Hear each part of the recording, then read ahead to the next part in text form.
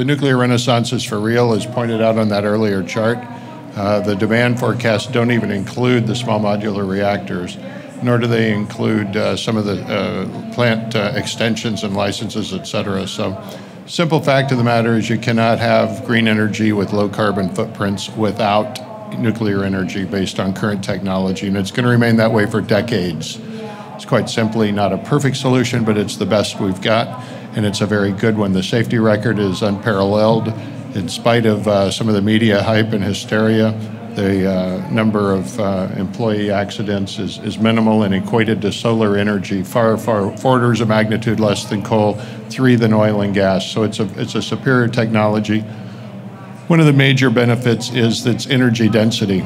Just to give you an idea, this one nuclear pellet replica is the equivalent of one ton of coal or three barrels of oil in terms of its energy eight or ten of those will, will uh, fuel a, a very uh, large residential house during the year. So, anyway, uh, the deficit that uh, Nick uh, alluded to is primarily within the U.S. The U.S. Uh, consumed 47 million pounds of uranium last year, and we produced 9,000, or essentially zero.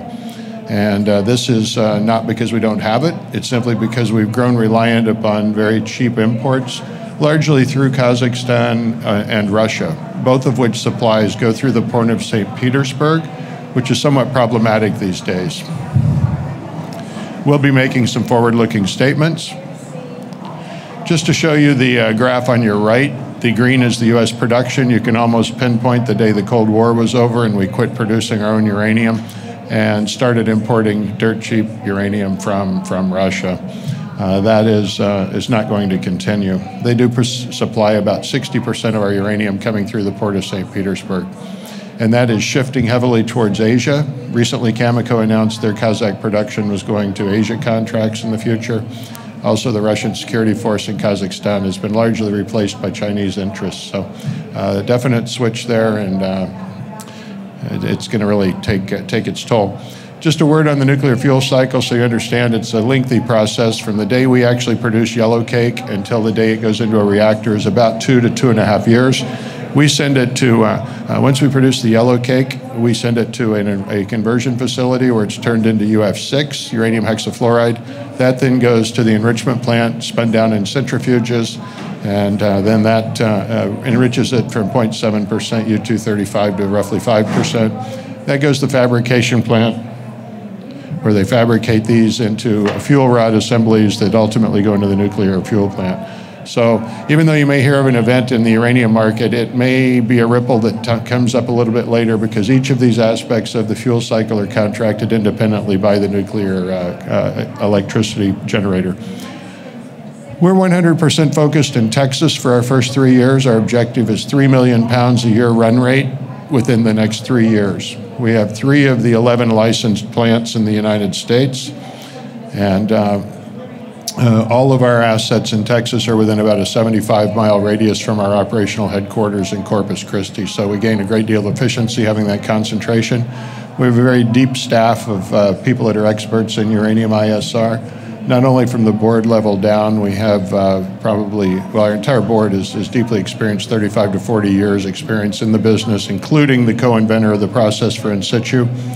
Uh, when you get down into the operations team, we've got about 40 people on staff that have actually produced uranium through, largely through the in situ means in the U.S. So uh, we're well staffed and, and able to uh, jump right in and uh, with some recruiting of uh, general laborers, actually run two plants uh, over the course of the next 12 months. Uh, we also have a very blended uranium sales strategy, roughly half of it exposed to spot and half of it exposed to contract. Keep in mind the spot market, while it gains the headlines, is, is a very small percentage of the uh, amount of total trade and uh, the contracts that we do enter to are somewhat related to spot with typical floors and, and ceilings. And those floors and ceilings have been expanding uh, rather dramatically over the course of the last year. We also have a number of other non-core assets that uh, help beef up the uh, balance sheet as we move forward.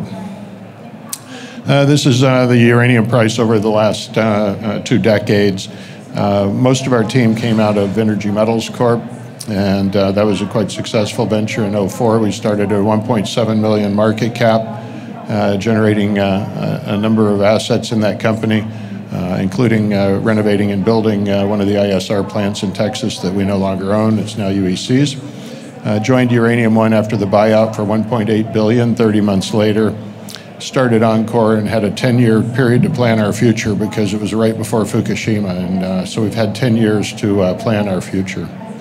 2019, we saw sea change coming. We made a move and bought two of the licensed plants in Texas, and I've spent the last uh, bit of time uh, renovating that. Uh, pro forma with a couple of recent uh, financings we've announced, the most recent of which was this last week after listing on the NYSE American. Uh, we've got 140 million shares out uh, uh, pro forma. Market cap will be about 400 million. Our uh, production timeline that we're looking at, our objectives are to get Rosita extension. The plant's been fully renovated, and we'd like to get that in production with a ramp up late this year. Uh, it's a very short-lived asset from the spot there, but the nice thing about these plants is they operate on hub and spoke, and you'll be seeing uh, further developments come along with our Spring Creek deposit, which will ultimately feed that plant as well as the uh, limited resources actually at the plant site. The big news, of course, is Alta Mesa, the most recent acquisition we got. It's about 19 million pounds in all categories, and uh, this is a 2 million pound a year capacity plant. Uh, our CEO actually built this for a private company, then it went to Energy Fuels, and we're in the process of closing that transaction. Uh, that should uh, see in the next week or two. Ultimately, uh, we'll be ramping up the three plants in Texas. Uh, we'll be moving into South Dakota on the Dewey Burdock project some uh, three or four years down the road, then bringing Wyoming on as well. Should mention Texas and Wyoming are very favorable places to be. These are both agreement states, which tremendously limits your involvement with the federal government. Obviously, anytime you can limit your dealings with the federal government, it certainly streamlines things and costs a whole lot less.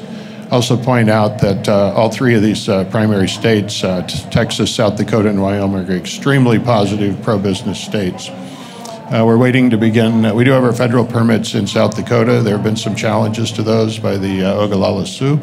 Uh, we've prevailed through the uh, uh, District Appeals Court. The last route of appeal is through the Supreme Court. We'll know what that in the next few days, next few weeks rather. Don't expect they to actually pick it up. Ultimately, we have a huge resource in New Mexico. New Mexico has uh, certain issues that uh, it's not as pro-business as the others I may have mentioned, as well as there's a significant issue of bringing along the Aboriginal community, that is the Navajo Nation. So uh, that's going to take some time, but it's going to be well worth it as we control over half of uh, the U.S.'s largest uranium district, that being New Mexico. Here's some uh, details on the Alta Mesa transaction. We spent $120 million, half of that in cash, half of it in a vendor take-back note. Uh, very large property, 200,000 acres of mineral rights in Texas, and that's big in any jurisdiction, but especially Texas when it's right in the heart of the mineral belt.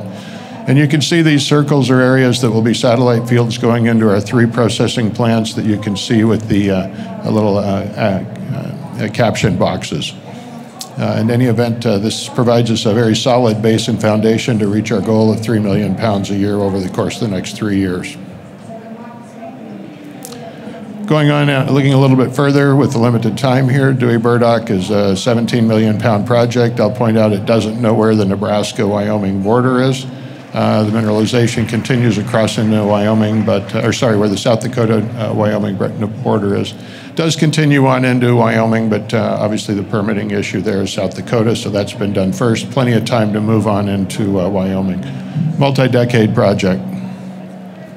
Also, very robust economics. 2019 economic study showing a very healthy and robust IRR. You've got to add about 40% to these costs but you can also add about 50% to the revenue because the uranium price used has gone up. Similarly, the Gas Hills project in Wyoming, most of these, in fact, all these projects I've mentioned have an ore grade of 0.1% uranium. Pales by comparison to Athabasca, but so do our costs, and so does our development time, and so does our reclamation. So it, it all provides for very healthy, very rapid uh, development and, and production. Uh, this uh, economic study was done uh, about a year and a half ago. So add 20% to your costs uh, roughly, and here again, at a low uranium price. So the IRR that's rather robust will, will only grow. Showing our dominant position in New Mexico, each of the stars are in fact deposits. Uh, we've got historic resources of some 60 million pounds, about 44 million pounds of indicated mineralization And uh, that's our path line to uh, production. We've got a very robust uh, uh, plan. We'll get to 5 million pounds hopefully over five years, and uh, not including New Mexico. Once we finally uh, get into New Mexico, we'll look to boost that up around 7 or 8 million pounds.